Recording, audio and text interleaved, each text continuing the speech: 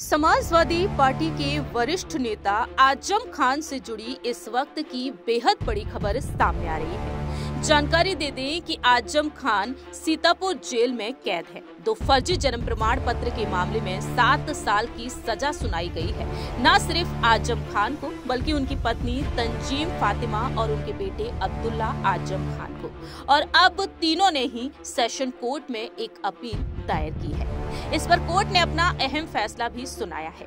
Court ने उनकी appeal को स्वीकार कर लिया है और अपील स्वीकार करते हुए सुनवाई के लिए अब अगली तारीख भी तय कर दी गई है। आपको बता दें कि इक्कीस नवंबर के दिन अब इस मामले पर अहम सुनवाई होगी।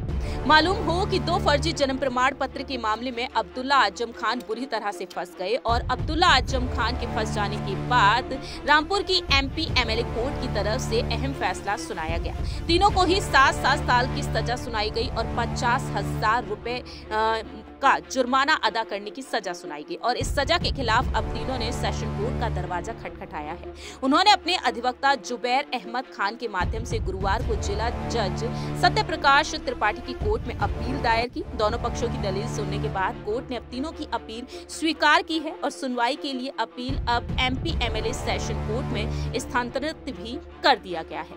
यहाँ पर प्रभारी M MP MLA session court Sanjeev Kumar Tiwari ने सुनवाई करते हुए सुनवाई के लिए 21 नवंबर की तारीख तय की है। अब देखना होगा कि 21 नवंबर को क्या वाकई में इन तीनों को राहत मिल पाएगी या फिर नहीं। इस खास रिपोर्ट में इतना ही। बाकी की तमाम अपडेट्स के लिए देखते रहिए नेक्स्ट नाइन न्यूज़